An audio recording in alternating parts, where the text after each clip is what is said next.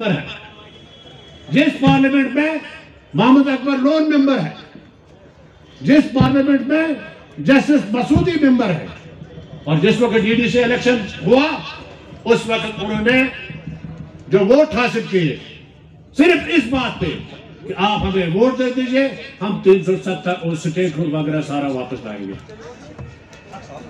نہ کا دن کیا بے شرمی کی بھی کوئی حد ہوتی ہے۔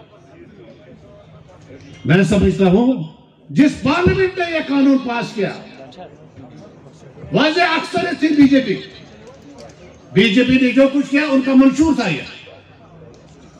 انہوں نے منشور میں لکھا تھا کہ جب اگر ہم کسی وقت بھی اقتدار میں آ گئے، ہم تین سو ستر اور پینتیس کو ختم کریں گے۔ اچھا واقعہ کیا نا؟ صحیح ہے نا؟ ایسے وہ ملال گشتے منقطع اور یہ کہنا ہم تین سو ستر کو لائیں گے۔ ارے بابا، کیسے لائیں گے؟ تو یہ ترے ممبر اگر اگر ضمیر چھو، اگر باضمیر لوگ ہو استفا دے دو۔ استفا دے دو اور لوگوں کے سامنے آ جاؤ۔ لوگوں سے کہہ دو، ہم نے جو وعدے آپ سے کیے تھے، جو وعدہ آپ سے کیا تھا، ہم اس وعدے کو نبھا نہیں کریں ڈی ڈی سے الیکشن تب میں آئے تھے زامہ آئے آج ہم کیا کہتے ہیں؟ آپ سے اور آج تراش کے شیر آپ ترہت ساتس آج ترہت ساتس کو کچھ ہیں آج اسے مور شور وگر سوری کڑبت نیشنل کانفرنس تھا کانگریس جس وقت آپ نے سنا، ڈاکٹر کرن سنگھ کو آپ نے سنا، پارلیمنٹ میں۔ غلام نبی آزاد کو سنا۔ صاحب یہ ہوا۔ سارے لوگوں نے، غلام نبی آزاد انتظار آج کا آپ سے پوچھنا چاہتا ہوں، تو تو کہتے پڑھنے اپنے کلوں گے وہاں۔ غلام نبی آزاد تقریباً بیالیس سال پارلیمنٹ میں بنا۔ زاک کردہ دویتا جن ویرن، یہ کوشش، یہ گشے پرماننٹ آرٹیکل بنن کانسٹیوشن زاک کرنا زامہ کرن کا، ڈاکٹر کرن سنگھ۔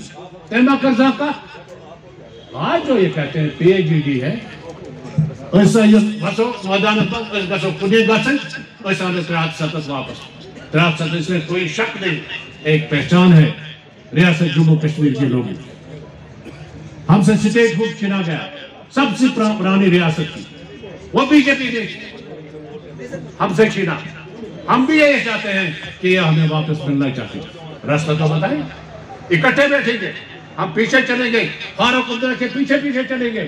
اگر وہ صحیح راستہ بتائیں گے، لیکن لوگوں میں آئے، یہاں پہ آئے، یہاں پہ بحث کریں گے، وہ بھی بات کریں، ہم بھی بات کریں گے، اور پھر دیکھیں کیوں صحیح ہے تو غلط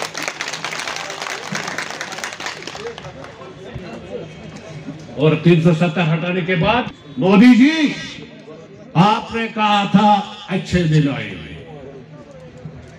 بہت ہی اچھے دن آئے لیکن تب سے آج تک میں وسوع کے ساتھ کہنا چاہتا ہوں۔ کشمیر کے لوگوں نے کوئی اچھا دن نہیں دیا اے مشوئی ہمیشہ، ظلم، ستم، خون، جیل۔ ہمیں معلوم ہے، بچوں بولتا تو سب جانتے ہیں۔ ہمیں جب ہم ملے پرائم منسٹر سے ہمیں کہا، بیٹی ہے۔